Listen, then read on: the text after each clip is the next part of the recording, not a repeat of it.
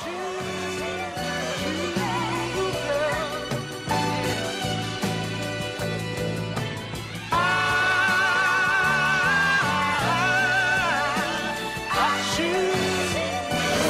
jsem Honza Bašník a dneska vás naučím halfa variátu.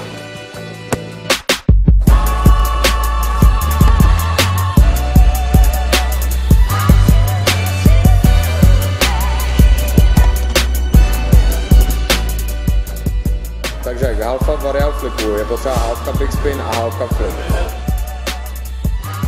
Přední nohu si dáváme jako na kickflip a zadní jako na halfka big spin. Přední nohou táhneš kickflip, zadní nohou děláš halfka big spin.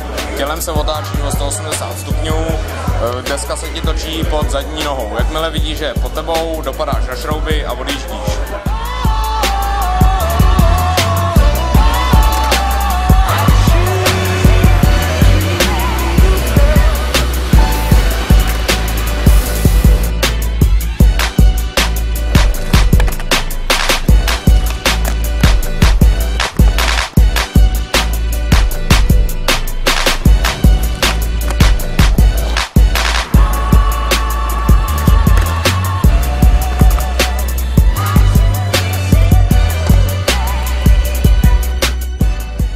Děkuji vám za pozornost, až se trik rychle naučíte. Díky, čau.